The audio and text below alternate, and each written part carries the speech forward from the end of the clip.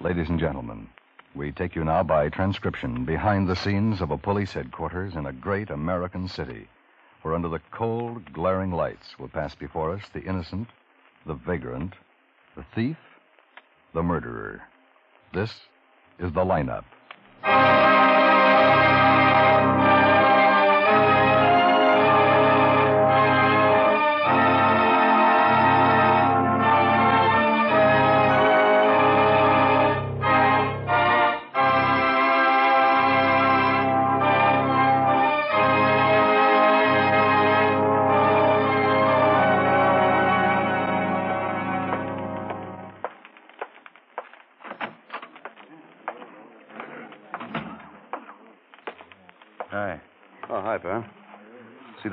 The wire on Pappas? No.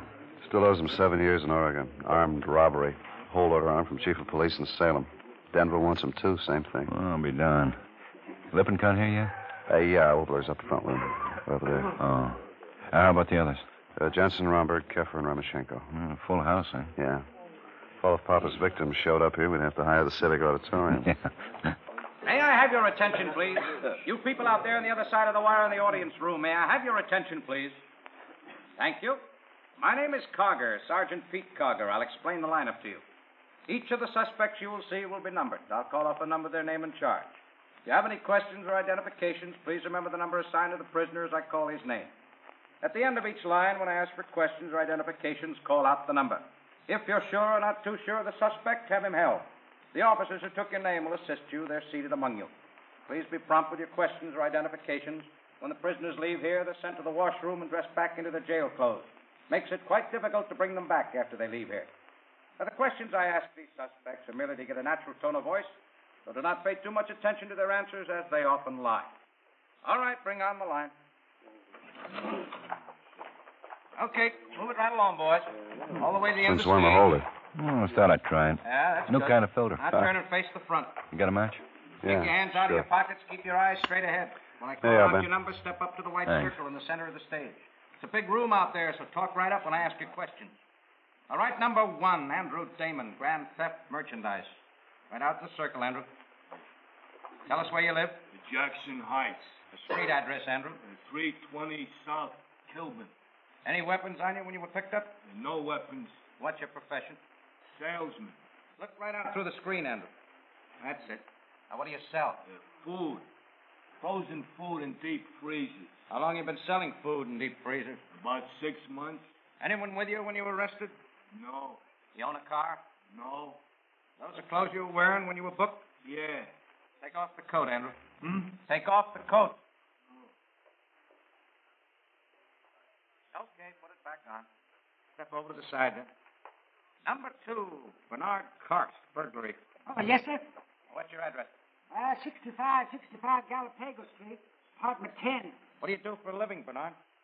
Oh, anything. Uh, shovel work sometimes. I dig. You know a man named Frank Krieger? Oh, yeah, yeah, I know Frank. I've known him for a long time. Turn around. You see him in the line anywhere? Oh, yeah, that's him right back there. It's number seven. How about David Junta? You know him? Oh, sure. Yeah. You see him in the line anywhere tonight? Yeah, he's standing right there next to Frank. Why? The officer's report states that Frank Krieger and David Junta were with you at the time of arrest. How do you explain that, Bernard? Beats me, Sergeant. You know where they were, Bernard? Oh, sure, sure. They were with the chickens. Uh, where were the chickens, Bernard? We're in the chicken coop. You see, I was out front in the car, and they were in back loading up a few things when the prowl car drove up. But they weren't with you. They were in the chicken coop. Well, now you got it, Sergeant. Thank you. Next, number three, John Pappas, armed robbery. Where do you live, John? Beaver Hotel. Address? 313 Parkerston, I think. What do you do? You mean work? Yeah, what kind of work do you do? Carpenter. How long you been a carpenter, John? Six, seven years. Where do you work? I don't. Where was your last job? Arizona. As a carpenter? Eh? Anybody with you when you were picked up? No, I was alone. There was nobody with me. You have any weapons? A gun. What kind of gun? Army 45. You have a car. No, What's funny, John? nothing. Why the grin? I was thinking of them guys in the chicken coop, I guess. Okay, John, step back. Sergeant Carger, Yeah. number three. Call for interrogation. Okay, Pappas, in that line. Uh, that does it. Uh, see you tomorrow, Klein. Asher can follow through on Pappas. Right, Frank.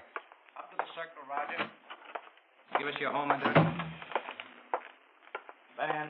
Oh, yeah, Bill. Got a minute? Sure. Get a make on Pappas? Yeah, there's enough for the district attorney now. Good. Come on. We might have a break on George Fresno. Fresno? Yeah, Broadway division picked up Lawrence Sawyer half an hour ago. Parole violation. I think he'll help us to get Fresno. Well, how's that? Sawyer's got a wife and two kids now. He doesn't want to serve any more time.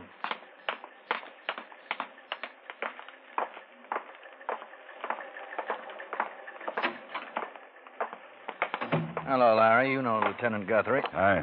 Hello, Lieutenant. Now, uh, hand me that, Ben. Oh, yeah. Yeah. Thanks. Hmm. Assault, huh? Yeah. Who's Herman Pollard? That's just some Jake standing around in a bar I was in. I had to hit him. Capped me with needling me. You're on parole, Larry. You know you weren't supposed to be in a bar, don't you? Oh, I work till almost nine tonight. I stopped in there for beer, and this Raymond, whatever his name is, started needling me. So I, well, I popped him, and they picked me up. And you broke parole. I've been out two years now. I kept my nose clean. Asked my parole officer. Asked the guy I'm working for. We will. You said something about George Fresno to Captain Hines at Broadway Division, Larry. That's right. Well, Do I uh, get a break? what about George Fresno? He's in town again. Yeah, we know that. You want him, don't you? He's handling the stuff again. Yeah. He's working with Gunther, Talbot, and Elmer Brashy. The three of them have been pushing for 17 months, what we know of. Stuff's from Turkey and Greece. Tests out anywhere from 30 to 50 percent. We've got half a kilo of it down the lab right now. Uh, can I have some water? I help yourself.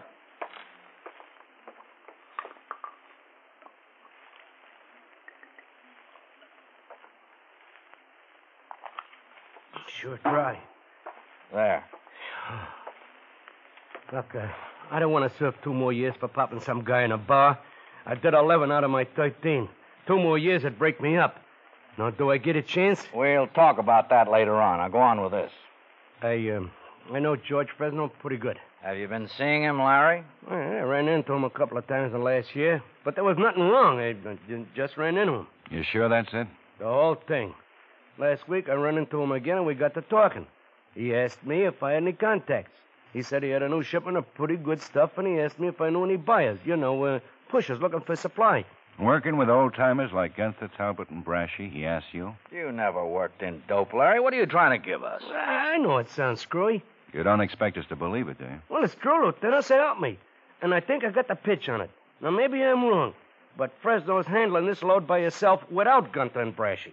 What makes you think that? Well, he told me to keep it under my hat. He gave me his phone number and said to talk only to him. And he wants you to help him get rid of it. Is that it? Well, he offered me the chance, just like I told you. Now, what'd you tell him? Well, I didn't want to take no chance, but I didn't want him to think I was turning up my nose. So I just told him I'd keep my eyes open. Doesn't seem right, him asking you, Larry, not when he's got his own contacts. Now, how long have you known him? You a good friend of his? Well, I met him when I was doing my bit up there. We used to meet in the library. But I've known about him since I was a kid. And he was running booze then, and we all know what he made and how he lived. Larry, a lot of people know George Fresno. A lot of people met him in prison. Nah, I still don't buy him asking you to make contacts. Well, you know what happened up there, didn't you? Now, what do you mean? I guess he really wouldn't have had nothing to do with me unless it hadn't happened. You see, once in a dining hall, about three weeks before George got out, two guys jumped him. Yeah, we know. They began waking over him with butter knives. You, you know the treatment. George is maybe, well, 60 years old. He couldn't handle him. I happened to be standing right by, huh? I give him my hand. I yelled for the guards, and otherwise the guy might have been killed. I guess he liked me for it. Anybody else in on it? There were other guys around, but nobody else helped him. You know, he wasn't liked. Yeah. But you helped him. That's right. I helped him. That made you a pretty good friend of his, huh? That's right. And now you want to help us get him. Yeah. How do you suppose George would feel if he knew you were down here talking to us like this, Larry? Who cares how he feels? Well, I care. Maybe some of his friends, Larry? Those guys who handle heroin ain't got no friends. Gunther, Talbot, and Brashy? Huh? Maybe you could get them, too. They don't worry me neither. If all that worries me is keeping my job toting them centuries of cement every day, I don't want to go back to prison. I had enough. I stepped out of line tonight when I smacked that guy. I'm willing to get back in line and stay there. You guys got a smoke? Sure.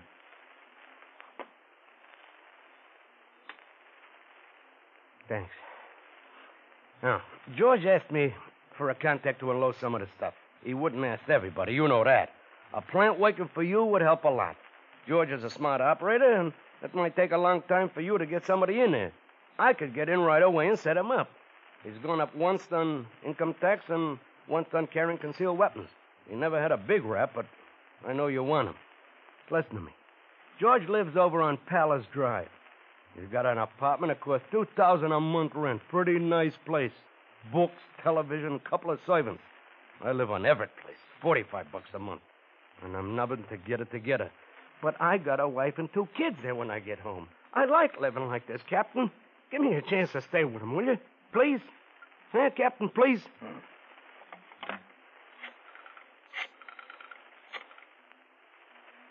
Harry? This is Waldo.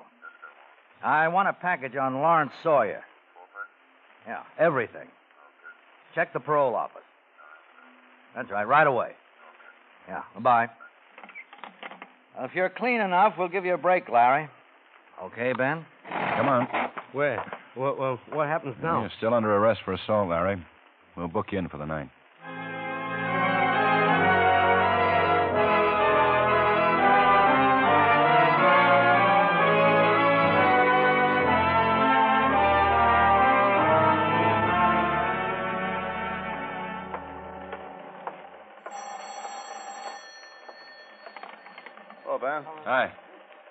Your office. Okay, you can get Sawyer up.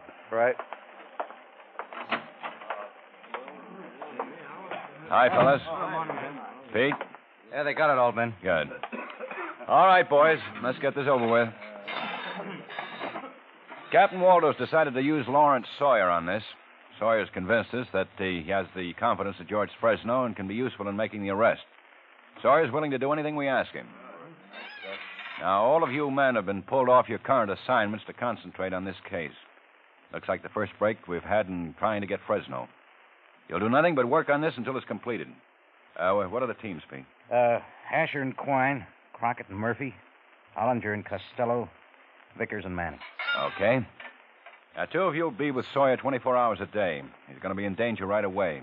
We don't want him to get hurt, and we don't want any of you to get hurt. What about Sawyer's place, man? Well, he's given us permission to tap his telephone line. Technical have two men at his home all the time. We don't have to worry about that part of it. Two others will be at the cement works. The district attorney drew up these sheets, uh, Pete. Yeah, man. There are four charges we might be able to get Fresno on importing, concealing, selling, or transporting. To make any of these charges stick, we have to arrest him with the goods on his person. Now remember that. No arrest, no action on our part until George Fresno's got something on his person. Now that may happen tomorrow, may happen a year from tomorrow. But we're going to stop him this time. Okay, Ben? Yeah? All right, Larry. This is Lawrence Sawyer. Some of you know him, some of you don't. How do you feel, Larry? Okay, Lieutenant? Okay, sit down. Yeah? Yeah, right there. Oh, okay. Okay, Larry. We have an outside line. Yeah.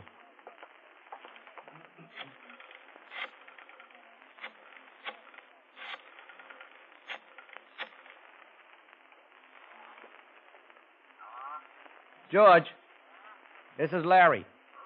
Larry Sawyer. I've been uh, thinking about that, uh, you know, what we talked about last week? How about having a drink, George, and talking about it? Okay, George, I'll be there. So long. I'm going to meet him for a drink this afternoon at Amos's Bar and Grill. That's on 17th, right below Grant. Asher, Quine, Yeah, man. you be there too.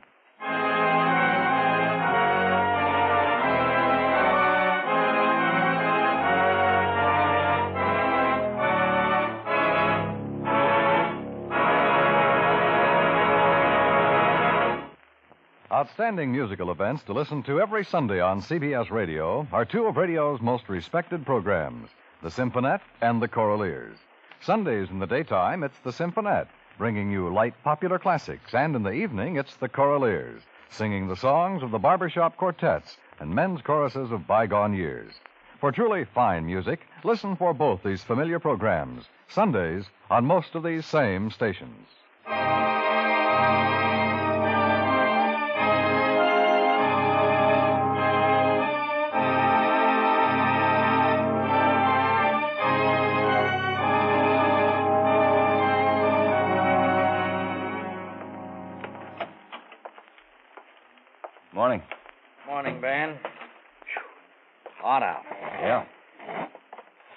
Weeks now, Ben. Yeah. It's going slow. What happened last night? Sawyer met Fresno again. We talked about price. And that's about it. What's the holdup, Ben? Well, Fresno's cagey. Sawyer's arguing on price. It's the way it works. I wish we'd get something. Business office is on me about all the men I'm using oh, on Now, this. take it easy, uh, Bill. Maybe this wasn't such a good idea, putting Sawyer in as a plant. He's talked with Fresno three times now, and he's set up nothing. Well, it takes time. Brashy and Talbot don't like Sawyer. Who's running that show? And Fresno. Buddy listens to them. Sawyer thinks he might get somewhere this week. When's he seeing him again? This morning. Well, Ben, we'll give it to the rest of the week. After that, close down. Just two men on. Oh, Bill. Can't help it, Ben. They're on me. Waldo. Yeah, Okay, thanks. Keep in touch. This might be it, Ben. Yeah, how's that? Fresno agreed to sell Sawyer a full kilo of heroin this morning. Sawyer thinks we can set him up. you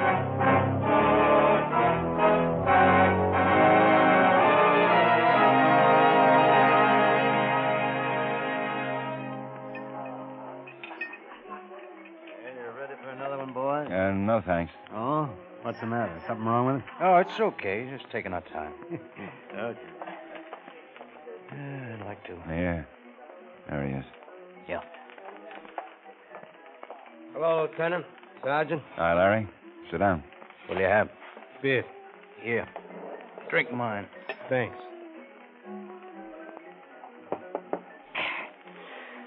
Sure good. Well, how'd it go? Well, he's willing to sell some of it to me. Give us the whole story. Well, you know how I've been after him. I didn't push too hard because I didn't want him to get suspicious. Think, uh, you know, something's wrong. Today I brought it up. I told him I had a client in town who'd take some of the stuff. Yeah? Well, you know, we've been arguing about price all this. He said he'd have, you know, that he'd have to go 8000 straight. I tried to make it look good and argued for 7500 Well, we finally made a deal. 78 A full kilo? Yeah. He beefed me up about how high grade it was. 65%, he said. I told him my client would like that. Hey, uh, look, I'm going to need some cash. Uh, what's the deal? He'll want, he'll want to see seven, eight hundred bucks before he shows me anything. I know that. I try to argue him down, but he wants it all in cash. And I've got to have it. Well, you'll have it. When's the delivery?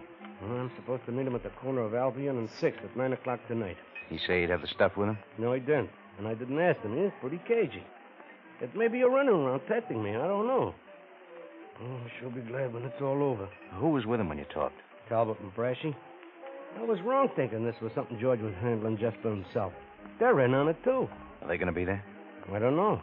Did you tell him who your client was? I did it just the way we talked about it. I just said it was a friend of mine from California. He asked me for a name, and I told him I'd rather not say. We let it go at that. He was more interested in arguing about money than anything else. Nine o'clock, Albion and six, huh? That's it. Okay, Larry. Yeah. Uh, thanks for the beer, Sergeant. Yeah. Hey, you know something? What? That guy'd kill me if he knew what I was up to. Well, you've known that all along. Yeah, but I just began to think about it a minute ago.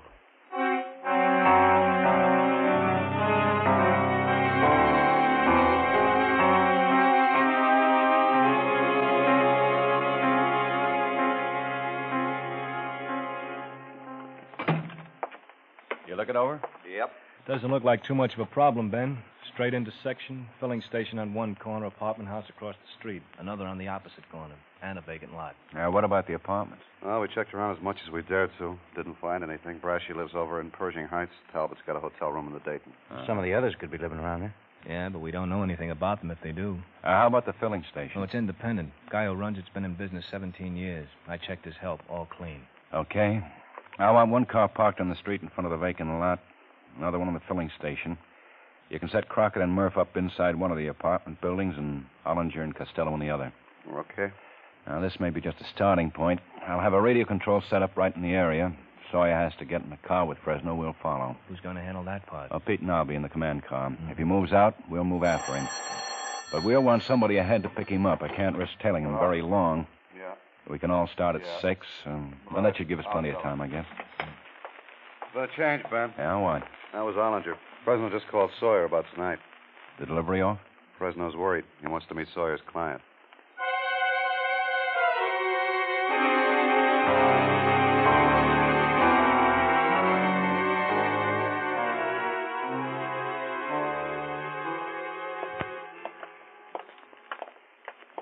I don't know about this, Lieutenant. It's the only thing we can do. But I don't know. Maybe he'll recognize you. No, he's never seen me. What about Brashy and Talbot? Uh, they've never seen me either. You ever been to this place before? No, it's just the address he gave me. Hmm. I tried to hold him off. Yeah, I know. He's sure suspicious. Okay? Yeah. Lieutenant, Yes, sir. is that Sergeant Cargan Quine in that car across the street? What do you think? Are you? Yeah, George. This is my friend, Paul Younger. Hi. Come on in. Thanks. In here. In here. Yeah. I get you boys a drink? Yeah, sure. Bourbon be all right? Fine. How about you? Okay, George.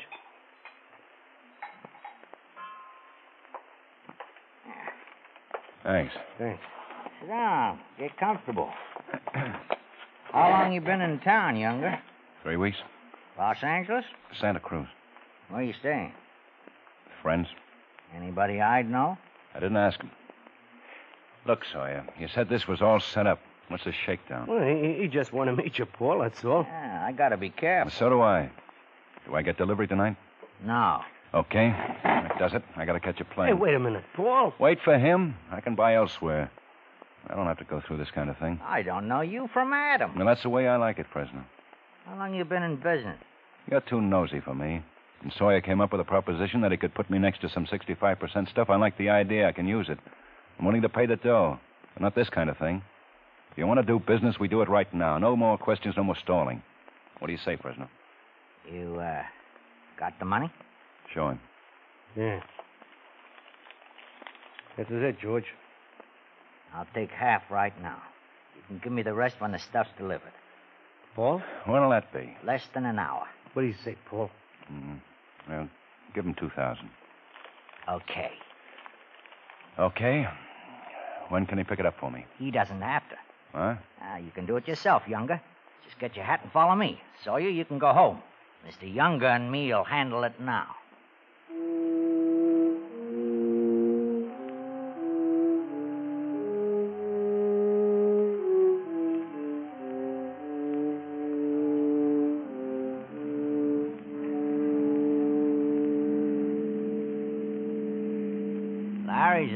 Boy, Mr. Younger.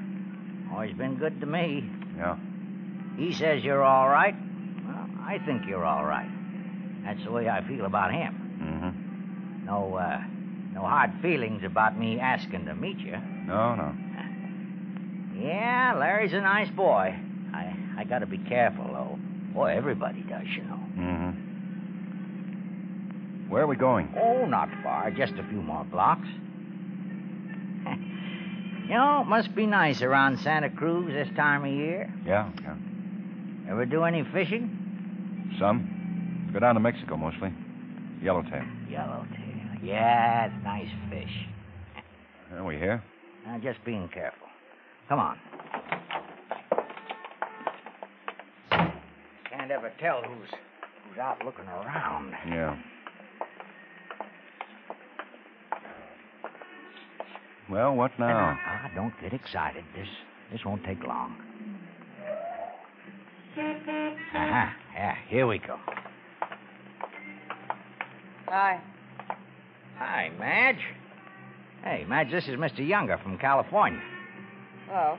Hello. Yeah, go ahead, go ahead. Get in. Hmm? That's it. Madge helps me out on these things, Mr. Younger. Yeah. Where to, George? Oh, just drive around, Madge. Are we going to make a pickup or aren't we? What is this? We'll make a pickup. Got the rest of that money? Yeah. And I'm keeping it until I see some action. I want half before I deliver. Well, you got two. That's it, Fresno. Hey, who'd you buy from before? I had some people. Chinese stuff? Okay, Younger. What? Madge? Yeah. Hey, what is this? Ah, relax. You wait here. I'll be back in a minute. A funny guy. Is he? Where's he going? My apartment. What for? Weren't you talking about a delivery? Yeah. Is that the way it works? Just wait for George. Okay. Want one? No, thanks. Ah. What are you doing? I think I'll stretch for a minute. What? I get cramped up. Oh, here he comes. He won't be cramped long. Yeah. Hey, what's this? You going someplace? I'm just stretching. You better get back in the car. Is this it? Yeah. 65%. I guarantee it. Well, I'll take it right here. Uh, wait a minute. What about my dough? No dough on this one, George. Huh? I'm a police officer. Hey, don't move your hands. Madge, keep your hands on the wheel in there. No, no. Sit down on the ground, George. Now, look, look, look. I got, I got a lot of money. 20000 30000 Sit down. Oh, don't hand me over. It'd be my last trip. I, I only got a few more years. Okay, Ben? Yeah.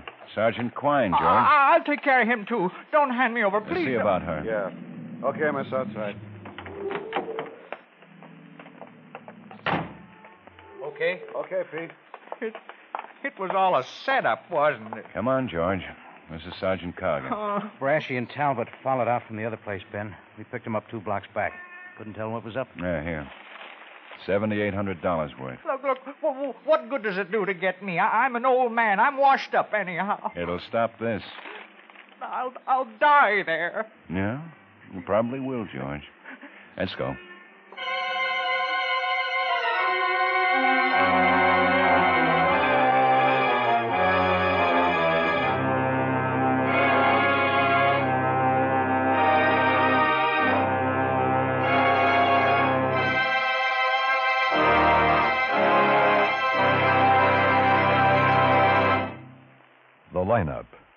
Before you pass the innocent, the vagrant, the thief, the murderer. Listen again next week when we again bring you the lineup. Uh, may I have your attention, please? You people out there on the other side of the wire in the audience room, may I have your attention, please? Thank you. My name is Carger, Sergeant Pete Carger. I'll explain the lineup to you. Each of the suspects you will see will be numbered. I'll call out the number, their name, and charge. If you have any questions or identifications, please remember the number assigned to the prisoner as I call his name. At the end of each line, when I ask for questions or identifications, call out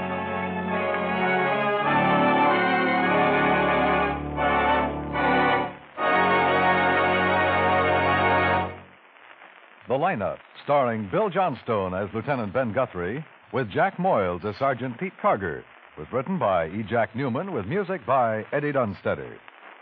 Featured in tonight's cast were Hy Averback, Peter Leeds, Howard McNear, Benny Rubin, Joseph Kearns, and Virginia Gregg. The lineup was transcribed in Hollywood by Jaime Del Valle.